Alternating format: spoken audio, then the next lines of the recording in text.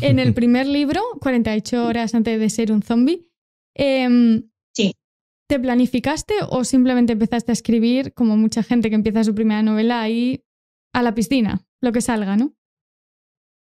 Pues a ver, yo tuve la idea y de hecho la tuve en un viaje en tren, en el sentido de, iba en el tren, iba de estos días que va el tren lleno a reventar y se me ocurrió, digo, si aquí empezara un apocalipsis zombie, eh, yo soy carne de primera muerte. Pero vamos, fijo. Se ha quedado un buen día ¿eh? para que el tren se llene de zombies. Eh, entonces, digo, ¿por qué siempre en todas las comedias, bueno, las comedias, las historias de zombies no se tratan desde el punto de vista de la comedia, de por qué no hay un protagonista que no tenga ni idea de usar una pistola, que sea una persona normal como, como somos nosotros, como somos la mayoría.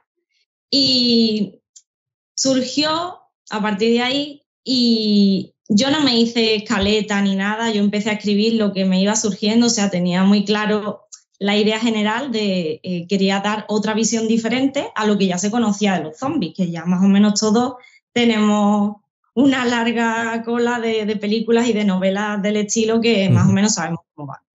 Entonces, al final, digo, le voy a dar una vuelta de tuerca a mi forma empecé a escribir. Los últimos capítulos sí que ya los planifiqué un poco en el sentido de, claro, mm, tienes que hacer una historia interesante de una muchacha que le quedan 48 horas de vida, prácticamente. Eh, y esto no es spoiler, yo lo digo en el título.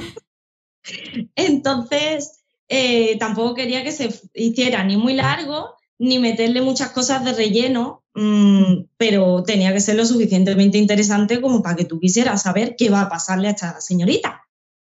Así que no, no, no me planifiqué mucho hasta el final.